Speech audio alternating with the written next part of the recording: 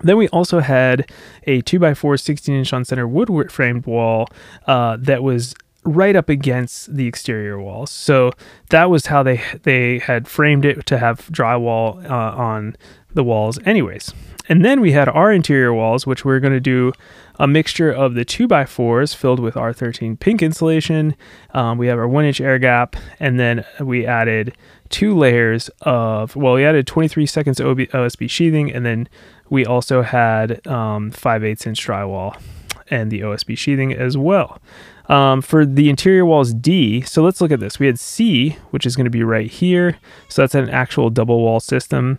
Um, we had D right here with the genie clips to save some space. And then we had D here with the genie clips to save some space. And D here with the genie clips as well. And then this is the bathroom wall here, B.